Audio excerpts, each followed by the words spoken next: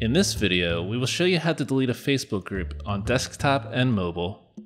To delete a group, the owner will first need to remove all members of the group. To delete a Facebook group on your desktop, go to facebook.com. Click Groups on the left-hand sidebar.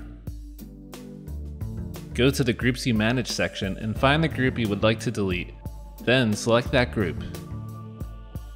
Click on the number of members and go to the list of people in your group. Scroll down to see all of them. Next to each member's name, click on the three dots and then select Remove Member. Then select Confirm. You have to do this for each individual member.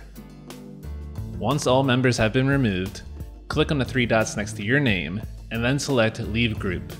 Then Delete Group. You have successfully deleted your Facebook group.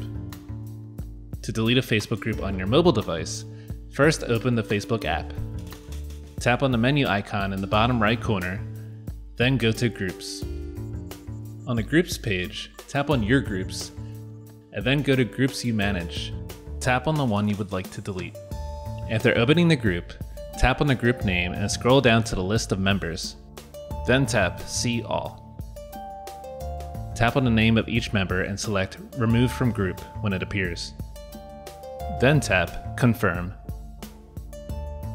After you have removed all members, go back to your group's main page and tap Manage at the top.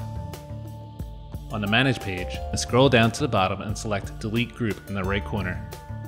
Then tap Delete Group. You have successfully deleted your Facebook group.